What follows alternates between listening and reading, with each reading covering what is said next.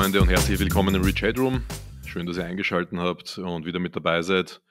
Es ist Zeit für ein kleines Special eher aus dem Bereich des Leistungssports, denn ähm, bin ja jetzt hier im Camp in Zagreb in Kroatien, in der Hauptstadt von Kroatien mit Alexander Rakic und äh, dem Trainerteam.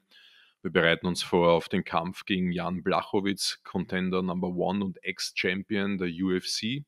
Also für die Leute, die das nicht kennen, das ist äh, MMA, also Mixed Martial Arts, das heißt die gemischten Kampfsportarten, die in einem Käfig stattfinden.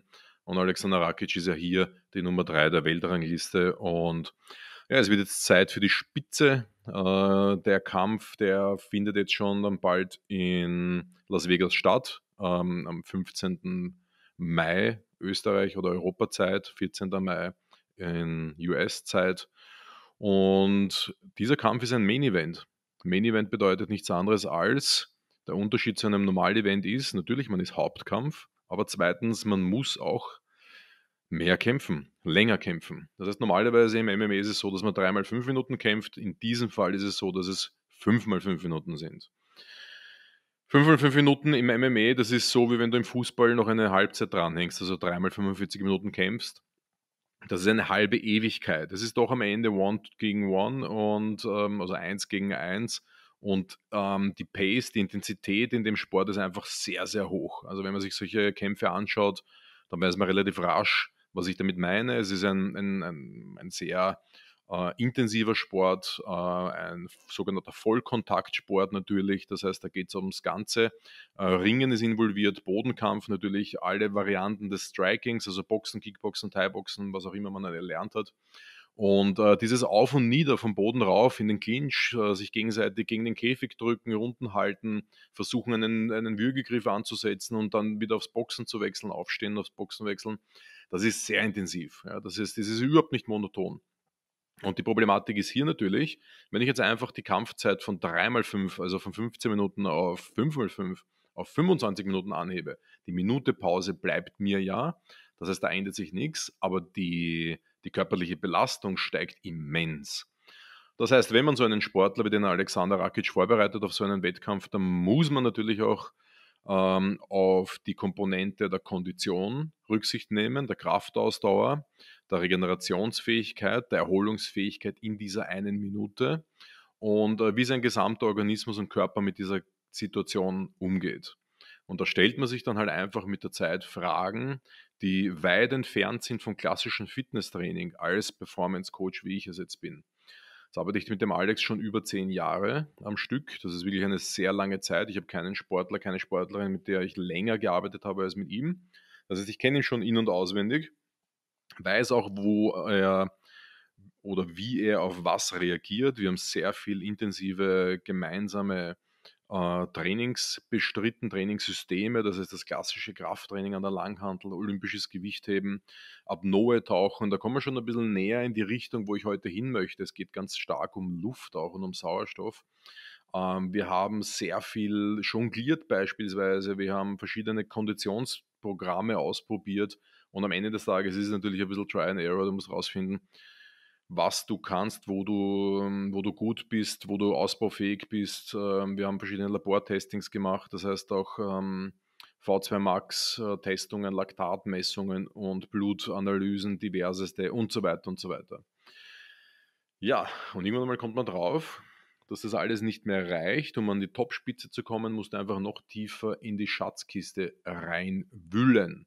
Und das haben wir gemacht. Das haben wir gemacht, Leute. Und da möchte ich euch ein bisschen einen Einblick gewähren, denn heute geht es um das Thema äh, Höhenschlaf. Ja, nicht zu verwechseln mit Höhentraining, das haben viele schon mal von euch gehört. Das heißt, Höhentraining ist am Berg beispielsweise, wenn man jetzt sagt, so ähm, äh, in der Natur draußen am Berg auf einer Höhe höher, als ich normalerweise lebe und normalerweise trainiere, für einen gewissen Zeitraum. Dann gibt es natürlich das Höhentraining auch in einer Kammer, quasi auf der Höhe, wo ich normalerweise lebe. Und dann gibt es aber auch durch das Ganze äh, in der, im Schlafzimmer, kann man sagen. Ja? Das heißt, ich kann auch auf Höhe schlafen. Und das ist das Thema, über das ich heute mit euch quatschen möchte. Höhenschlaf, um die Performance zu verbessern, um die Regeneration zu verbessern, um auch den Schlaf zu verbessern und viele, viele andere Parameter zu verbessern.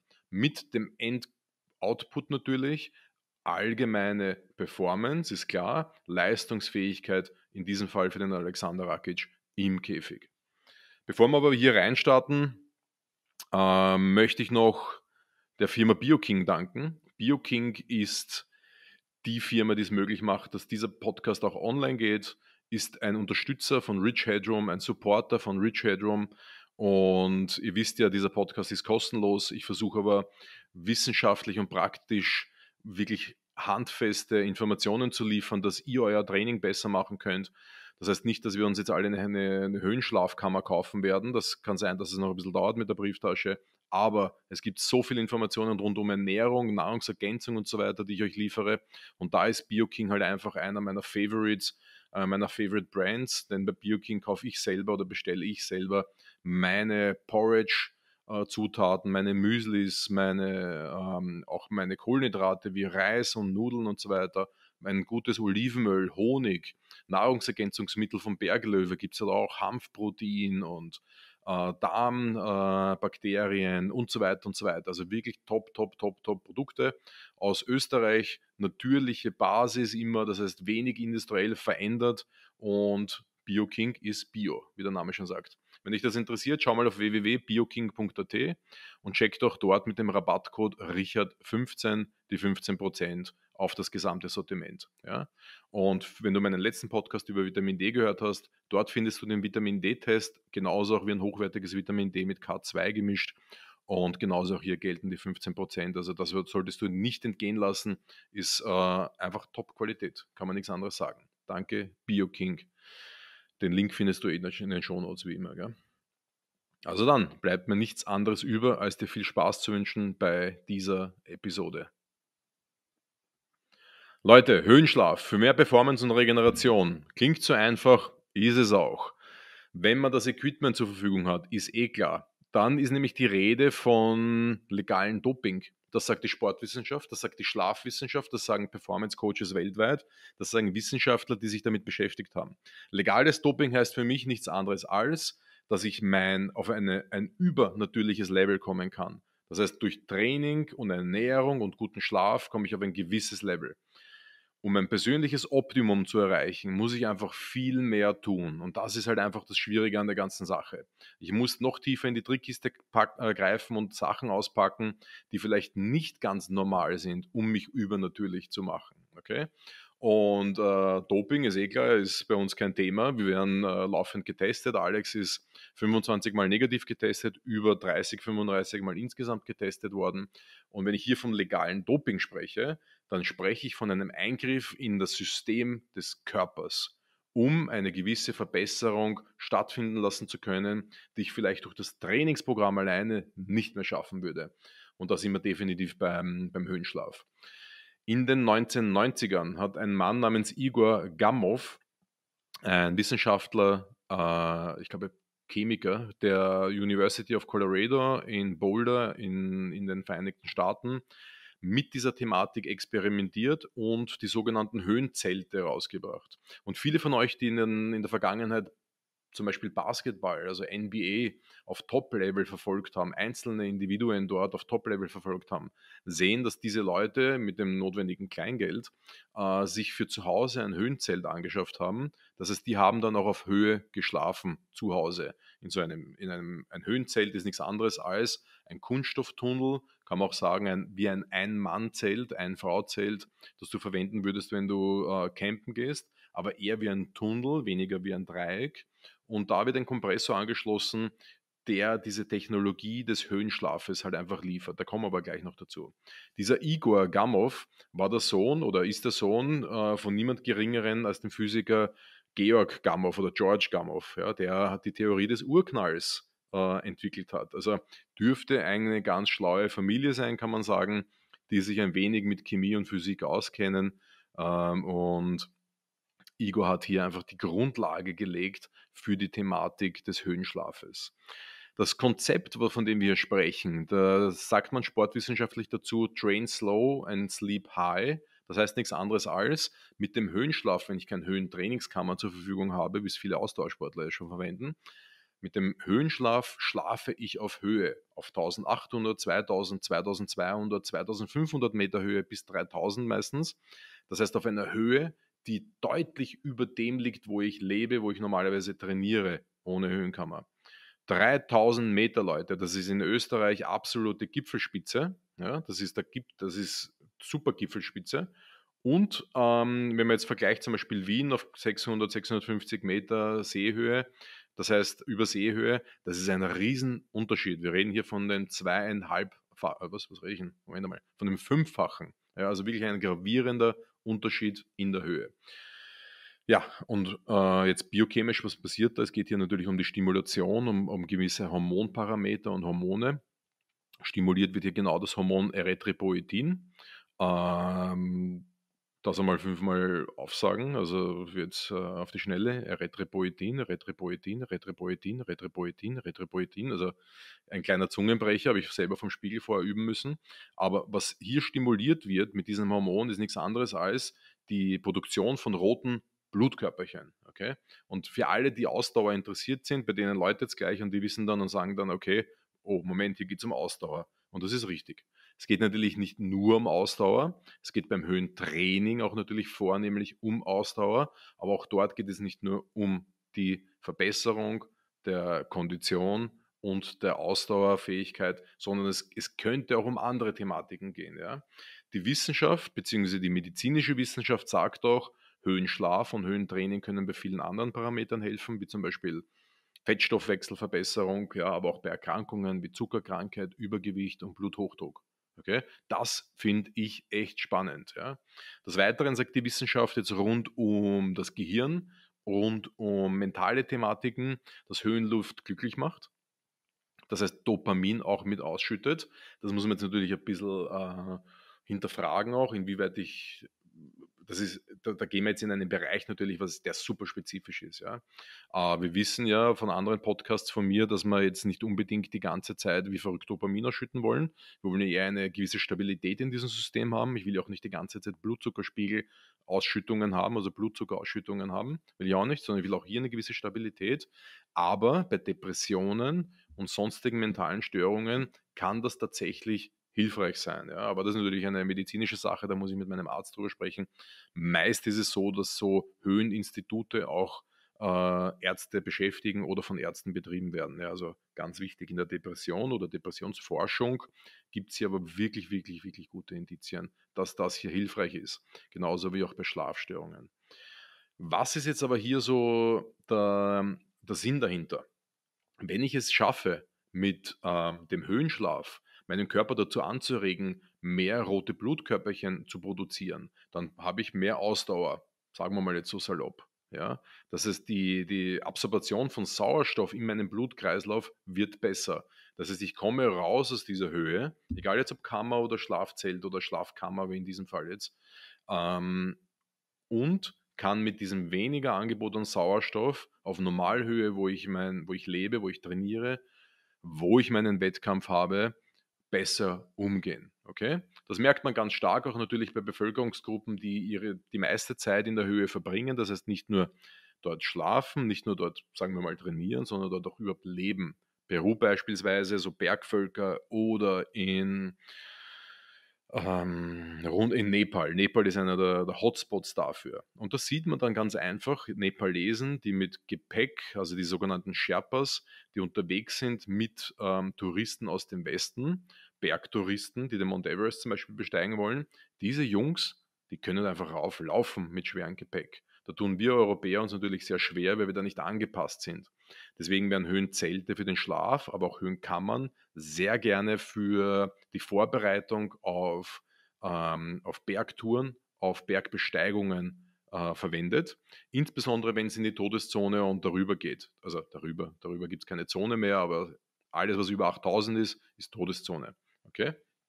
Dort wird dann auch noch oft, nicht immer, nicht von jedem, Sauerstoff eingesetzt, um die Leute ähm, bis zum Berggipfel zu bringen. Weil ihr müsst euch vorstellen, jeder Schritt ein Atemzug.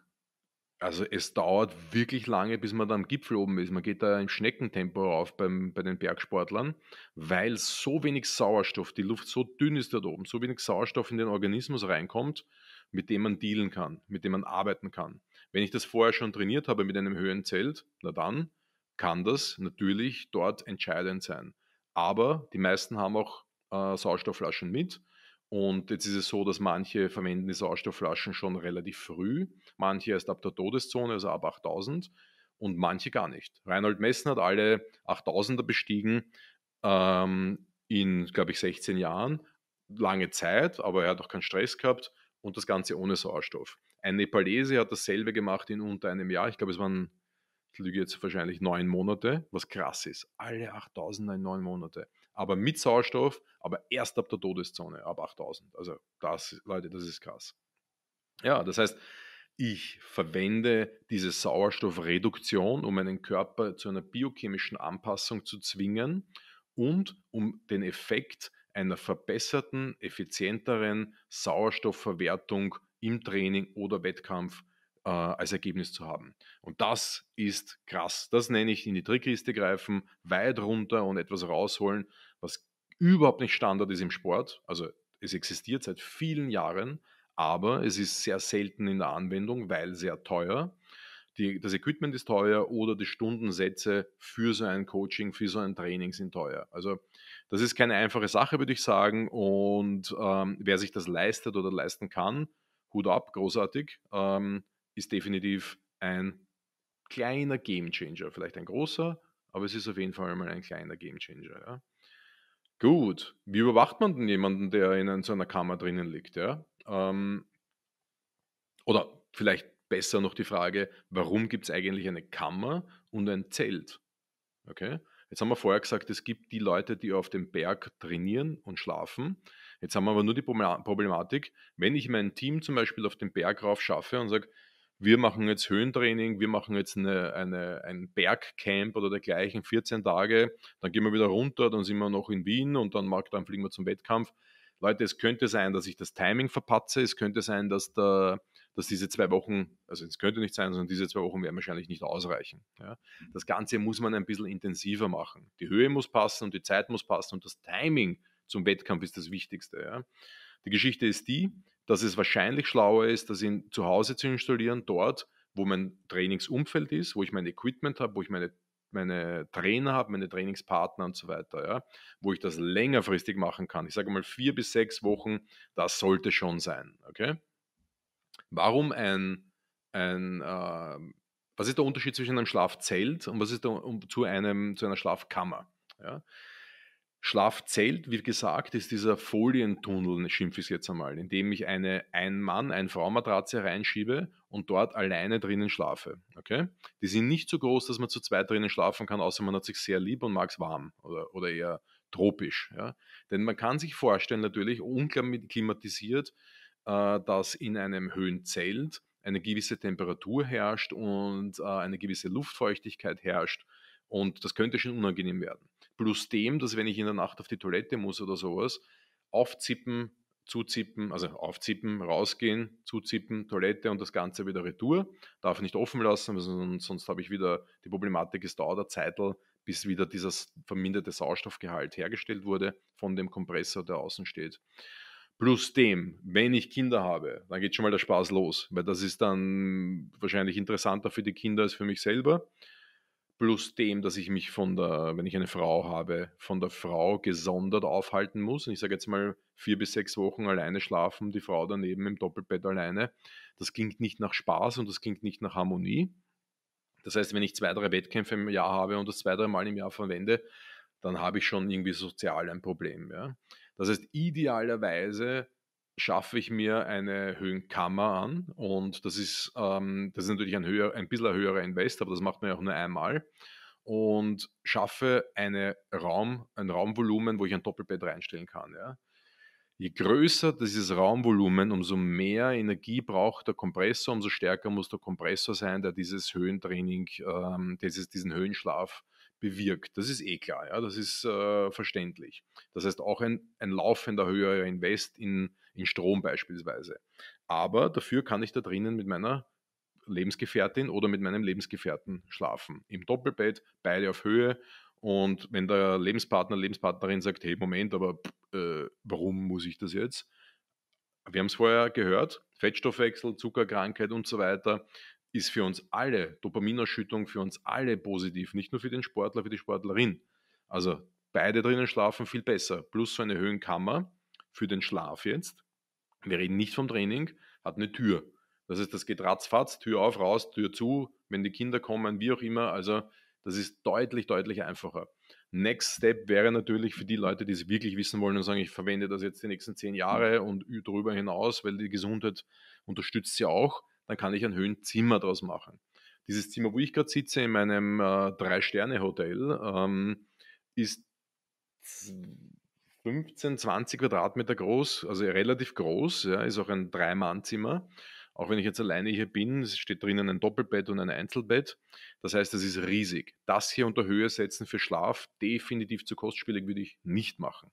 Ein kleines Schlafzimmer, wie ich zu Hause habe, wo nur ein Doppelbett drinnen steht und links und rechts gerade einmal einen Meter zu den Wänden oder zum Kasten ist und nach vorne nur einen Meter oder zwei bis zur Wand, wäre schon äh, eine andere Idee. Könnt ihr schon mal drüber nachdenken, diesen ganzen Raum auf Höhe zu stellen, ja, auf Höhe zu, zu bringen. Wenn das jetzt, wenn der Raum Altbau ist mit 5 Meter, 4 Meter, 3 Meter 50, was auch immer, dann würde ich wieder drüber nachdenken. Das kann man aber alles berechnen. Aber wir wollen jetzt nicht zu tief gehen.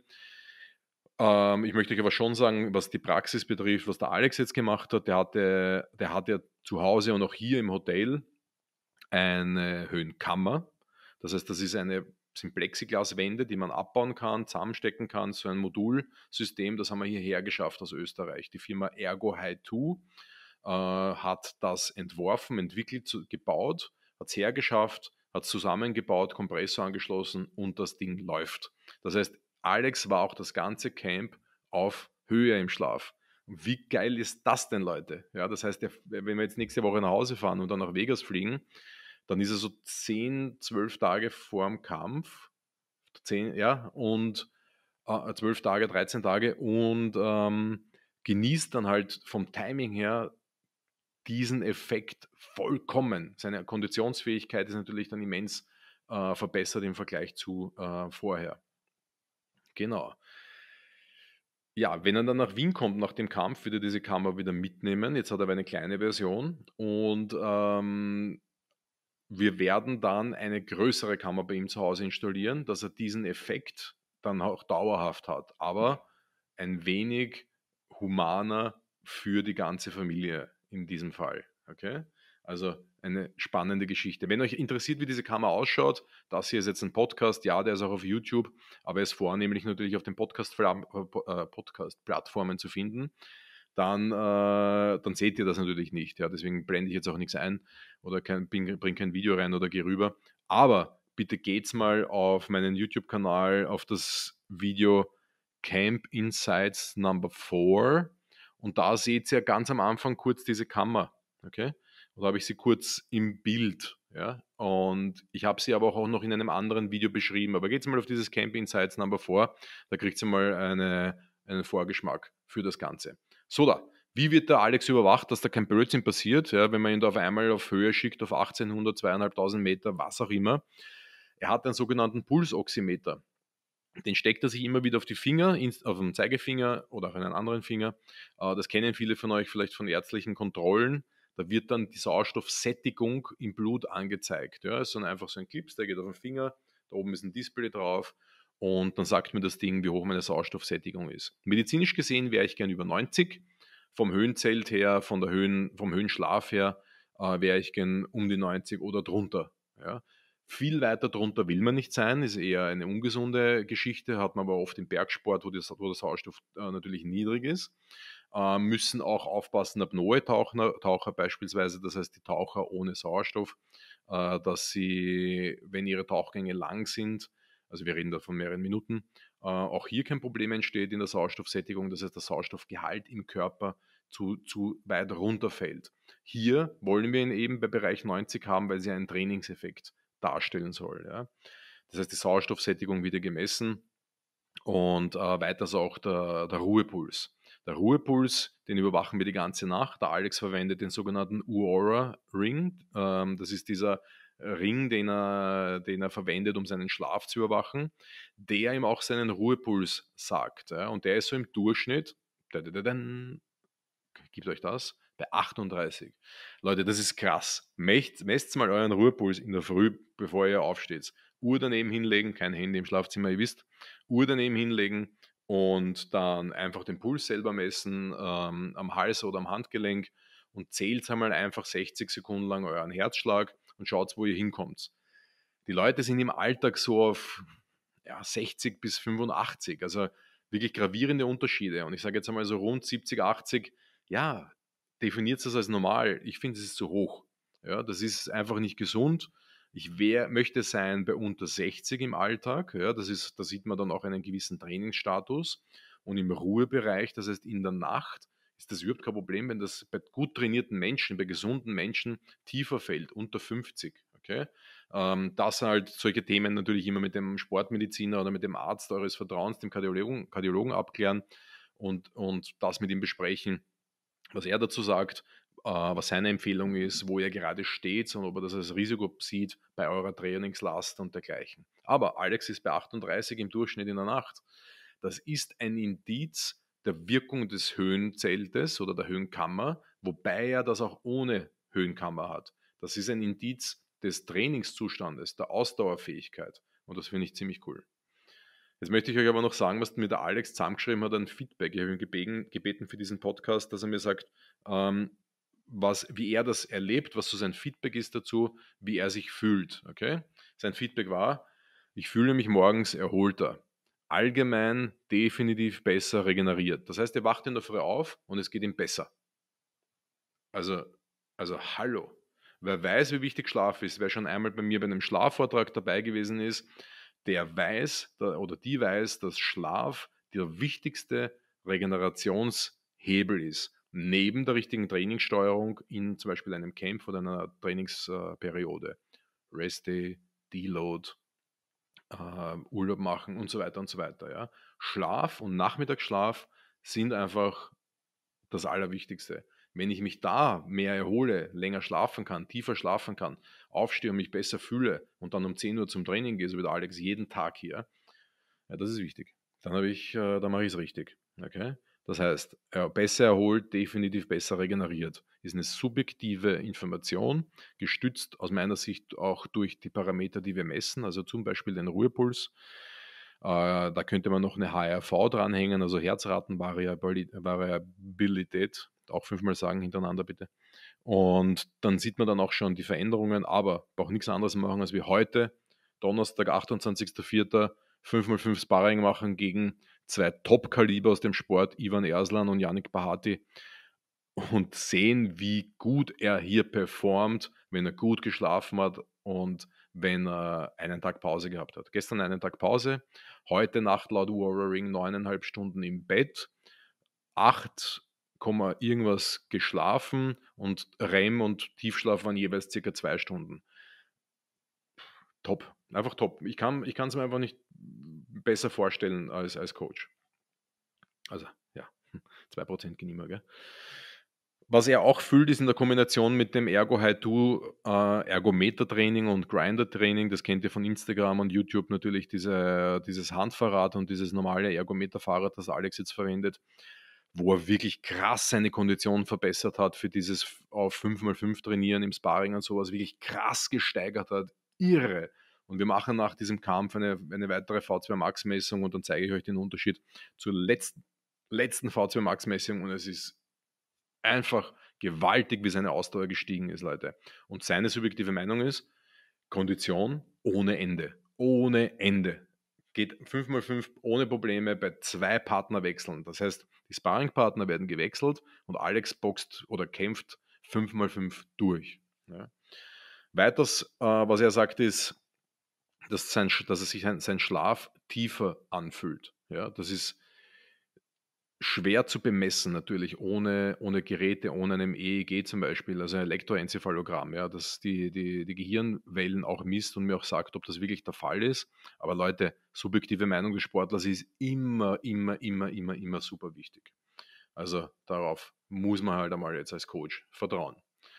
Also, meine Lieben, das war es jetzt mal vorerst zu diesem Thema Höhenschlaf. Wir werden noch eine Folge machen zum Thema Höhentraining. Wenn euch die Thematik mehr interessiert, äh, dann geht sie bitte auch noch ein Stück zurück in meinen Podcasts, also vor 15, 15 Folgen in etwa. Da gibt es eine Folge, die heißt Ausdauer und, Höhen, Ausdauer und Höhentraining mit Alexander Rakic, glaube ich. Da ist jetzt das Thema Ausdauer stärker beleuchtet mit Christoph Weiß. Das ist der, der Head Coach von Ergo High 2, der die ganzen Trainingsprogramme schreibt, der auch unser Ausdauerprogramm schreibt, das ähm, der Coach Pitt Hausema in unserem Team umsetzt beziehungsweise dass wir seit November, Oktober, November letztes Jahr ähm, äh, verwenden. Ich würde sagen, dass 80 Prozent, fast sogar 90 Prozent der, der Konditionsverbesserung bei Alex durch diese beiden Geräte und die Trainingssteuerung von Ergo High 2 bzw. Christoph Weiß äh, zustande gekommen ist. Und der Rest ist ähm, Höhen, Höhenschlaf. Natürlich darf man nie vergessen, dass der Alex irrsinnig viel Zeit investiert in High-Pace Boxing, Wrestling und Jiu-Jitsu und Sparrings. Und auch das trägt natürlich immer zur Kondition bei. Das darf man niemals vergessen. Aber es kommen noch weitere Episoden, wo ich das Thema Ergo High 2 Konditionstraining weiter durchleuchten werde. Ich habe Christoph Weiß auch wieder eingeladen, dass wir darüber sprechen, was ist der Unterschied zwischen seinem Radergometer mit isokinetischen Antrieb, Kettenantrieb und einem normalen Spinningrad, weil wenn ich, das, wenn ich die zwei Sachen anschaue, dann irgendwann ist es dasselbe. Spinningrad kostet aber was kostet ein Spinningrad? 5000, ein teures äh, oder, oder, oder 6000, 7000, ich weiß es nicht. Und dieses äh, Ergo High 2 Bike kostet 30.000, über 30.000. Da muss ein Unterschied sein. Und ich verwende das Bike jetzt selber seit ein paar Wochen, habe mir extra Clipschuhe gekauft fürs Radfahren und verwende den Grinder auch, sieht man auch auf Instagram immer wieder und auf YouTube, wie ich da, wie ich da reinhacke. Und I love it. Ich bin Kraftsportler mein Leben lang und das ist Ausdauer. Kraftausdauer, Ausdauer. Aber ich liebe dieses Training, es ist einfach richtig genial. Also schaut euch die Videos an auf YouTube und auf Instagram. So geht es halt einfach weiter, Freunde. Und jetzt am Ende möchte ich äh, euch nur bitten, klickt einmal hier gleich auf Gefällt mir, abonniert diesen Kanal, gebt ihm 5 Sterne, egal wo ihr seid. Es gibt immer was zum Anklicken, weil diese, diese Folge, dieser Kanal hat es, glaube ich, verdient. Damit unterstützt ihr, dass ich hier auch weitermachen kann und sehe, dass euch meine Videos gefallen. Das ist das positive Feedback an mich zurück. Schickt mir eine Frage, egal wo ihr seid, PM, E-Mail, info at richardstaudner.at und äh, stellt mir eure Fragen zu diesem Thema, zu allen anderen Themen. Ernährung, Training, Schlaf, wurscht was es ist. Ich probiere es in einer QA-Session von mir unterzubringen. Und last but not least, www.theartofraw.at. Geht auf diese Webseite und checkt euch diesen Chaga-Pilz. Antioxidantien ohne Ende die Nummer eins der Antioxidantien im Kampf gegen freie Radikale, im Kampf gegen Schädigungen von, von, von, Zell, ähm, von Zellen und bei der, bei der Regenerationsunterstützung für Sportler und so weiter und so weiter. Einfach ein geiler, geiler Pilz, dieser Chaga-Pilz. Richard 20 gibt es ähm, auch nochmal 20% mit diesem Code. Ausprobieren und profitieren. Meine Lieben, ich wünsche euch einfach nichts anderes als eine geile Zeit und wir hören uns bald wieder. Danke fürs Einschalten.